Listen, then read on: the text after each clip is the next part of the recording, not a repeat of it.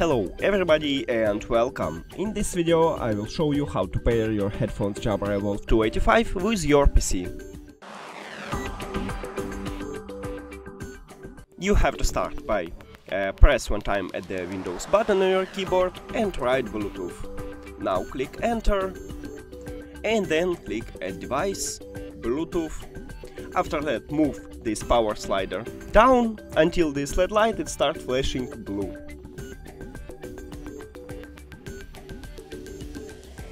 Here we go. Now click on it at the device list.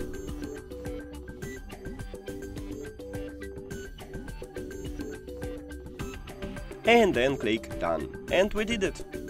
Thank you for watching this video. If you found it helpful, please consider subscribing to the channel and leave the like on the video. It's really important to us. See you later.